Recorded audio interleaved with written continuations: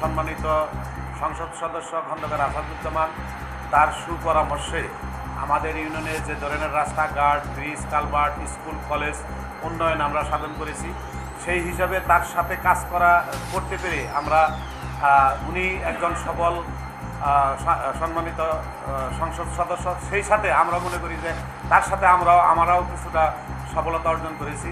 যেমন আমাদের বাল্য বিবাহ মোটামুটি একটা নিয়ন্ত্রণের মধ্যে আমরা আনতে পেরেছি।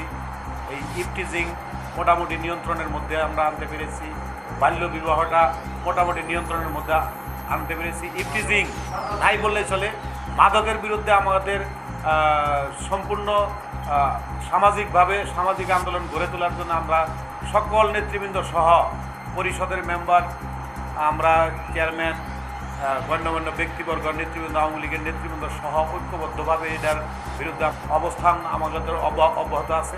আমরা মনে, আমাদের মনে হয় যে আমরা খুব দ্রুত এটা সীমিত আকারে নিয়ন্ত্রণে আনতে পারব, হয়তো নির্মূল করা সম্ভব না হলেও আমরা নিয়ন্ত্রণে আনতে সক্ষম হব। ডিজিটাল বাংলাদেশ গড়ার, গড়ে তোলার জন্য আমাদের ইউনিয়ন পরিষদটা এখন ডিজিটাল সব কিছু ডিজিটালের উপরে হচ্ছে।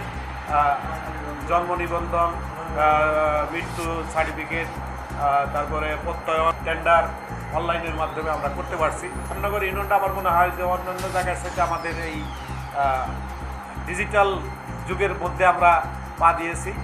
এইটা আমরা নিজেরা মনে করি যে আমরা এই দিক দিয়ে অনেকটা অগ্রগামী, সফল। আমাদের ইউনিয়নের বয়স্ক প্রতিবন্ধীদের জন্য বিধবাদের জন্য বিধবা কার্ড আছে, প্রতিবন্ধীদের জন্য সরকার প্রতিবন্ধী কার্ডের ব্যবস্থা করছে এবং প্রতিবন্ধী ভাতা এবং বয়স্কদের জন্য বয়স্ক ভাতা সরকার চালু করছে, সেটা আমরা সঠিকভাবে সেটা আমরা বিতরণ করার চেষ্টা করছি যাতে সুন্দরভাবে সঠিক জায়গায় তারা পায়, সেই ব্যবস্থার জন্য আমরা আমাদের কর্মকাণ্ড অব্যাহত রাখছি। সেই হিসেবে আমাদের হেমনগর ইউনিয়নের প্রায় বিধবা ভাতা, বয়স্ক ভাতা, প্রতিবন্ধী ভাতা প্রায় নয়শোর উপরে আমাদের এই ভাতাভোগী আছে এবং যারা দুস্থ, তাদের জন্য ওই বিজিডি কার্ডের ব্যবস্থা আছে। ওনারা নিয়মিত এটা পাচ্ছেন। নারী উন্নয়নের ক্ষেত্রে নারীদেরকে শিক্ষিত শিক্ষিত করা হইল আমার প্রথম পদক্ষেপ যাতে নারীরা যদি শিক্ষা, শিক্ষিত হয়। একটা মা শিক্ষিত হলে একটা জাতি শিক্ষা লাভ শিক্ষিত হবে।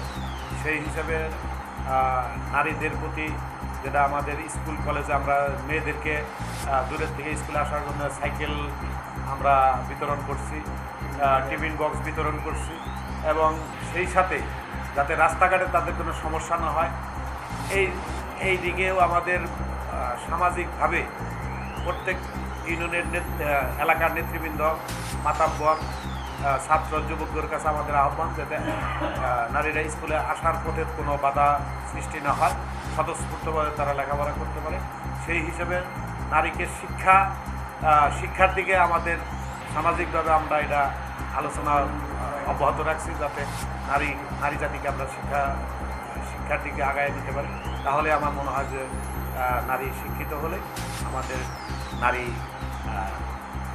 উন্ন- উন্নতি উন্নতি লাভ। এই জঙ্গির বিরুদ্ধে বা ইয়ের আমরা সামাজিকভাবে এটা আলোচনা, মিটিংয়ে মধ্যে সবসময় এটা অব্যাহত আছে, যাতে কোনো জায়গায় কোনো জঙ্গি বা কোনো বিশৃঙ্খল পরিবেশ হলে তাৎক্ষণিক চেয়ারম্যান অথবা থানার ওসি, ইউনো মহোদয়কে আমরা তাৎক্ষণিকভাবে এটা সুপরামর্শ দেওয়ার জন্য বিভিন্ন জায়গায় সরকারিভাবে নাম্বারগুলো দেওয়া আছে। সেখানে নক করা মোবাইল করে যে অবস্থানে এই জায়গায় কী হইতেছে, এই বিষয়ে আমাদের তৎপরতা সবসময় আছে। এটা বৃদ্ধি আছে, বিভিন্ন মিটিং মিছিল সেমিনার ধর্ম প্রতিষ্ঠানের মসজিদে এই ধরনের আলোচনা আমাদের সবসময় অব্যাহত আছে।